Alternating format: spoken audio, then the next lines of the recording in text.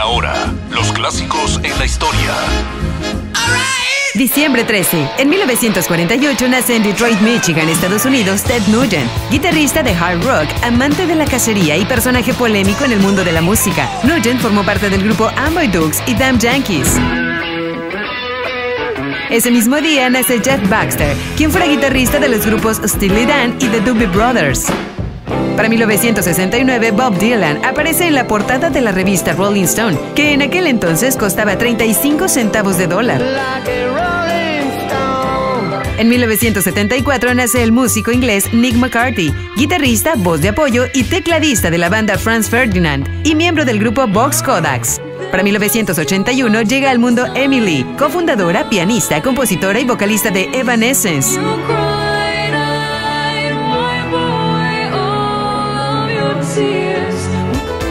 En 1986, Bruce Hornsby y The Range tocan la cima de charts norteamericanos con The Way It Is.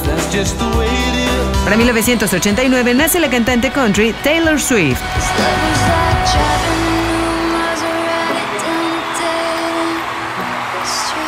Conectamos cada historia con tu época.